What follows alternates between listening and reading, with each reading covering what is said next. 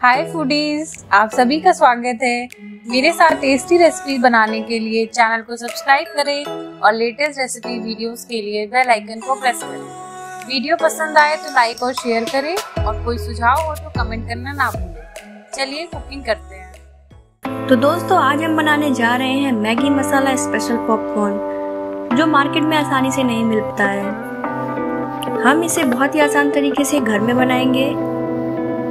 ये खाने में बहुत ही टेस्टी होता है और बच्चों को बहुत ही पसंद आने वाली है। तो चलिए शुरू करते हैं।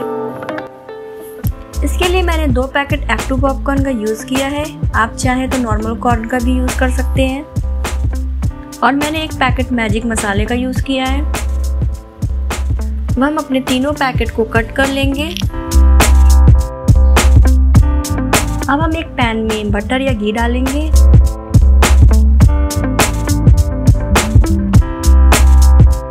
लो फ्लेम में अब हम मैगी मसाला डाल देंगे और फटाफट चलाएँगे ताकि मसाले जले ना। अब हम अपने सारे कॉर्न को मसाले में डाल देंगे। ध्यान रखिएगा, आपका फ्लेम लो ही होना चाहिए। अब हम लिड से इसको ढक देंगे। थोड़ी देर बाद गर्म होते ही एक एक दाने फूटने लगेंगे। ये देखिए, फूटने लगे हैं।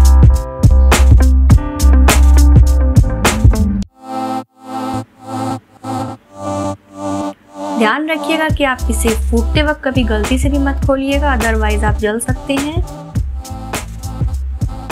मेरे सारे दाने अच्छे से फूट रहे हैं।